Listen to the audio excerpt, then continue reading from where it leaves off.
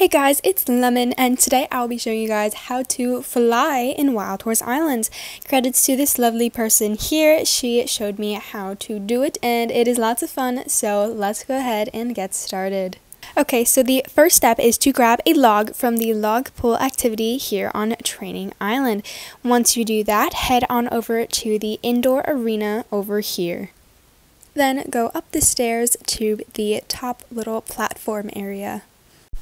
Then jump off the edge and you will be connected by the string from your log pole and you can go ahead and fly around in Wild Horse Islands just like we are all doing here and that is super creative with the reindeer over there. So shout out to the reindeer person.